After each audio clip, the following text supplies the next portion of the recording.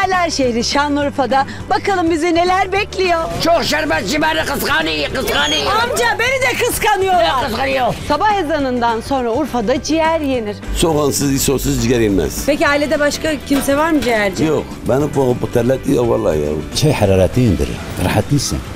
Rahatlıysan. Ben Urfa'da ciğerin meşhur olduğunu duydum. Tire'de ilk defa duyuyorum. Her taraftan gelenler var. Urfa'da çocuklar hayatı sokakta öğreniyorlar. Hepsi birbirinden şerbet, hepsi birbirinden tatlı ama hepsinin bir işi var.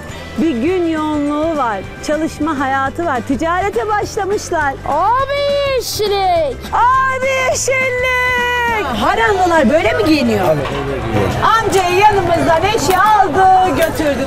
Bahar Kapı'da yeni bölümüyle Pazar günü Kanal 7'de.